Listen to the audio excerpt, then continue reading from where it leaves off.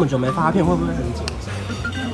很紧张？不会啊，我觉得这次收发心情非常的轻松，因为都是可能跟公司的一个默契，跟大家团队的默契，大家都知道我在怎么样的环境底下觉得比较安全，然后所以有一种安全感。像今天虽然说是一个很跳痛的一个餐会，但是它是有趣的。私下喜欢吃海鲜吗？我没有特别喜欢，但是因为去年九月开始就不吃肉嘛，所以好像就只能吃蔬菜跟海鲜，所以就不知不觉海鲜会吃多一点。你喜欢什么海鲜呢？生蚝可不可以？生蚝，喂，对男生不错。生蚝，生蚝不要吃太多好了，最近比较忙。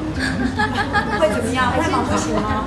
因为大家都一直觉得就是张栋梁要弱弱的身体，所以大家健康哪里？弱 看起来文质彬彬很多一点。？OK，文质彬彬我 OK，弱不行。所以你很强壮吗？当然，各方最强壮的地方是，最强壮的地方是胳膊，那你有在练下半身吗？感觉好像都是下半身哪里？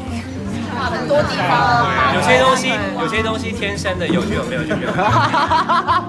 我觉得每个人都会有一种情绪，一种解释不了的孤独感，那只有自己知道，只有自己去可以面对这样。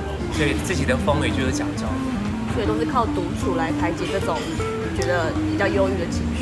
我蛮我蛮可以独处的，我而且我觉得学会跟自己独处，学会面对自己的孤独是一件非常好的事情。一个人可以做多少事情？看电影，可以吃饭，可以应该说得出来的事情，我都可以一个人做啊。一个人去医院，可以，但是这个真的蛮蛮可可怜怜的。的，这个真的蛮可怜。但是我觉得你那个中了，一个人去看，一个人去医院，这个真的可能是好像有发生过吗？好像没有。